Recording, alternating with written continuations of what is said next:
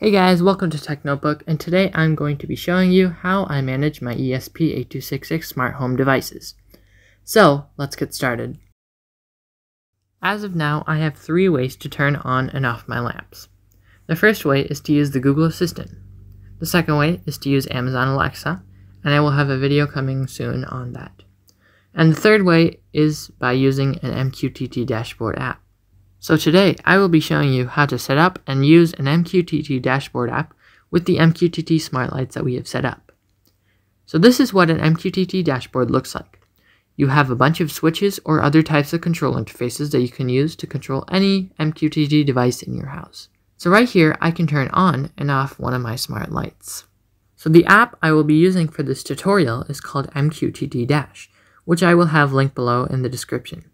Any other app should work fine for this tutorial, but I recommend that you use MQTT Dash if you have Android.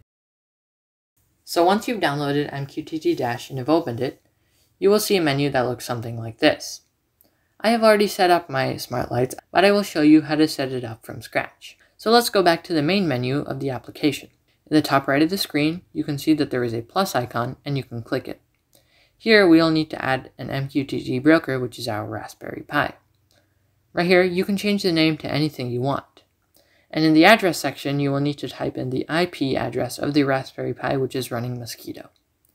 And you can leave everything else as default. Now, we can add devices. In this tutorial, I will show you how to add the MQTT Smart Lamp that we created in a previous tutorial. But if you have any other MQTT devices, you can add them here as well. So we'll need to click the plus icon at the top right corner and a menu will pop up. For our smart light, we will need to click the switch option.